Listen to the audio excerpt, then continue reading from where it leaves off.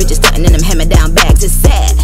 Burberry plaid, you in that drip that I already had. They wanna see you do your dance, do that thing, poke out them pants. If it don't, then I got plans. Bam, just got a summertime tan. Man, we just putting dollars on your head. Niggas vibe. Hey guys, and we're back at it, Mocha World.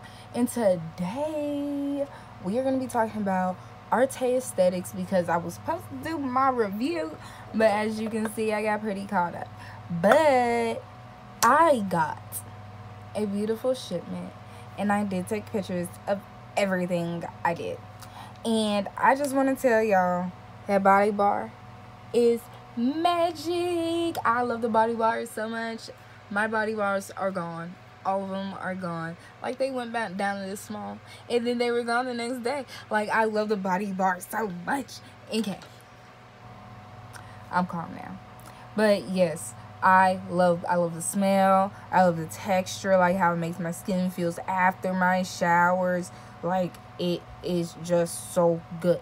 Okay, but and then my face doesn't really look that good. And I'm not gonna get into that because my face has just been in shambles. But the last video, the face bar did work really good right before I just went into like full breakout mode. It does work really, really, really good. And I love the smell of it.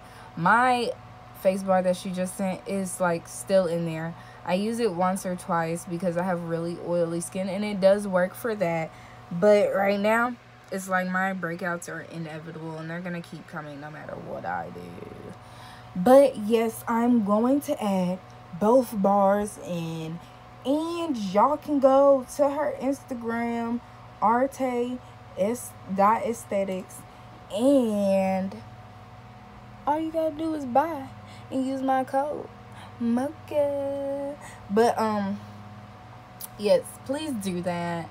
I love skincare products and I'm actually thinking about doing a chemical peel because I don't know what else to do with my skin. And I really don't like I, I'm not gonna say I don't like because I never tried.